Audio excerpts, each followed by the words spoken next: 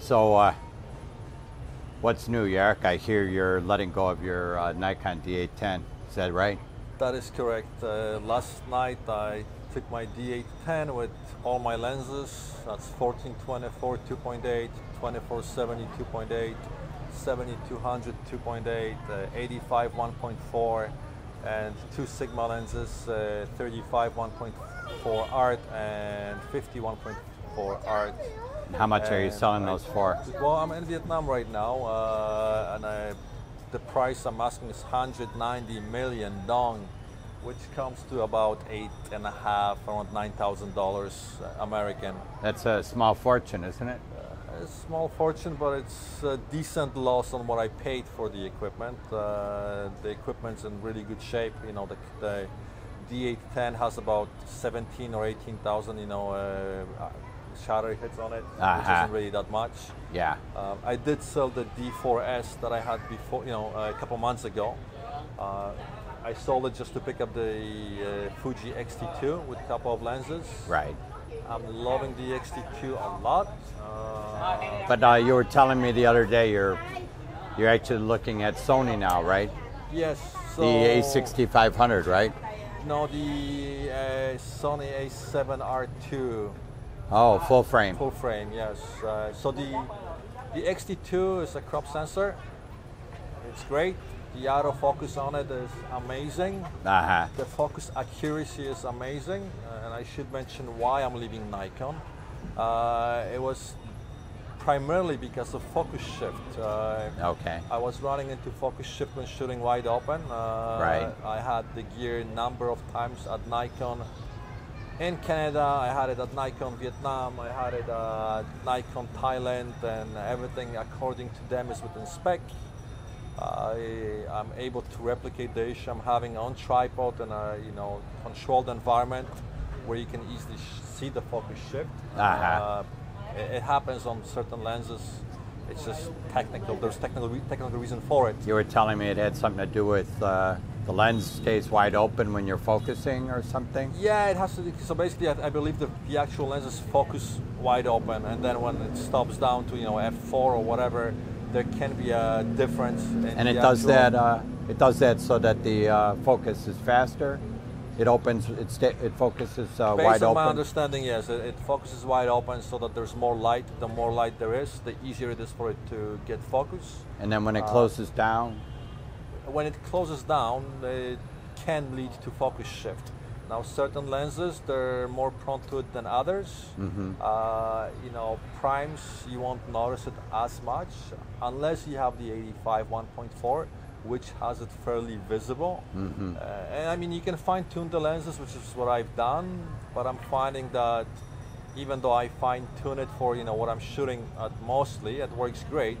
But then the minute I'm trying to shoot a subject farther away, or I'm trying to adjust my f-stop to something different that I fine tuned it to, you know, it can lead back to front and back focus. Uh, now a lot of people are saying uh, they're expecting to hear uh, Sony announce uh, an update for their A7R2. What do you think? Would it be better to wait till next year? Well, I'm not in a rush to buy it. You know, I decided to sell it right now just because uh, I was actually doing a maternity shoot a couple days ago for a friend of mine. Yeah, those pictures were beautiful. And I had the D810 with me with my uh, Sigma and uh, Sigma 35 1.4 and my 2470. Okay. Uh, and I had the you know the, the Fuji X-T2 with the 23 2.0. right. Uh, the focus on the you know on the on the on the Fuji was just right on every single time. Mm-hmm. Uh, I also prefer the fact that I can actually see you know in the viewfinder exactly what I'm getting. Uh, you know, so the accuracy was there. I just enjoy shooting it so much more.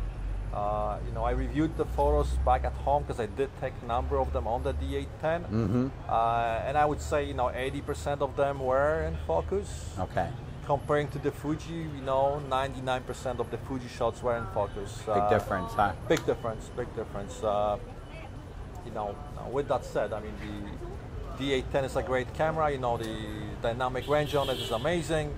Uh, you know, the resolution kicks ass. Mm-hmm. You know, if I was doing a commercial shoot where I need the resolution, you know, and, and, and if I had the Nikon stuff, I'd probably just shoot tethered to my laptop to make sure that I'm getting the focus that I want, Mm-hmm. and, and I could get the shots. Uh, now, with that said, that's not something you're going to be doing in any location, in every location you, you, you know you're shooting. You don't have, Uh, always have a second chance, right? No, exactly. Like I shoot a lot of you know remote areas, markets, and villages, and I'm not gonna be getting my laptop hooked up to take a candid shot of someone in the market. It's just not gonna happen. You usually take your laptop along when you go to the villages, like in the north of Vietnam. Well, when I go, I usually go for you know a couple months. My Okay. trip coming up is gonna be three months long, so I do have to bring my laptop with me. Uh, you know, just to copy the files, and I bring my external drive to keep a to keep a separate backup, Sure. just in case. Yeah. things do Good break. idea. Yeah. Uh, it also lets you review the images and you know do your start on the post processing and everything else, geotagging and whatnot. Uh, you did mention the Sony, so why why am I looking at the Sony? Uh, I don't like how the Sony looks and, and I don't like how it feels in my hands. Uh, you know, I, I prefer the controls on the XT2. However, the Sony does have a much higher resolution and it is a full frame camera. And even though I don't need it for you know majority of my, my work, some of it I would like to shoot on a full frame sensor and with higher resolution. And you get a little Uh, better uh, bokeh. Yes, you do. You know, so if you if you pick up the right lenses, Yeah. and and the thing with the lenses is, Sony lenses are not cheap.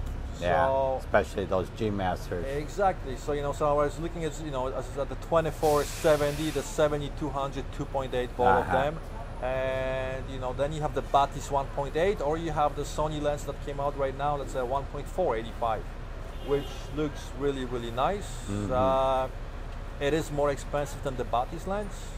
Uh, and talking about the Batis 1.8, there's also a Sony lens right now that's also 1.8. Uh, that's actually much cheaper than you know than than the Batis lens, and they're saying that it's as good as it. Now I haven't shot with it, nor, nor have I actually you know touched it, so I can't comment on that. Uh, but if I was buying a lens, I, I usually believe in buying the best you can buy, so it would be the 1.4. Um, so if I can sell my Nikon gear in time before my next trip, then uh, then I'll probably get the A7R2.